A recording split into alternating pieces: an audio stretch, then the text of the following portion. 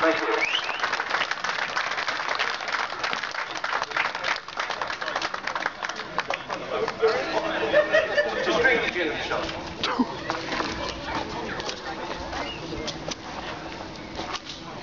As you know, ladies and gentlemen, tonight's game is a memorial match which was arranged by the Football Ascot United.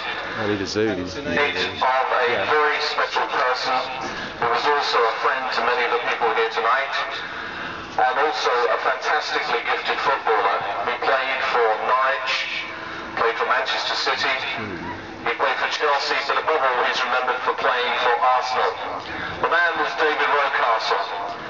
He was an absolutely awesome guy, a terrific father, a family man, and a gentleman. We're delighted to welcome his son Ryan, who's in the middle of the pitch there, who's going to referee the game. Please give him a nice round of applause.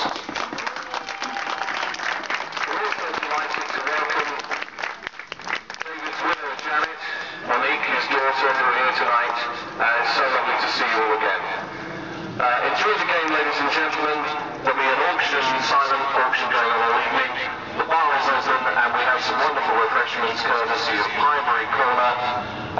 Also the Piglet Pantry from Brighton and Hove Albion. Wee. Thank you very much.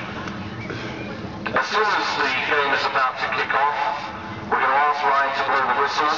Uh, we'd like you to join us in one minute's applause in memory of a fantastic man, David Rocastle, and a fantastic football.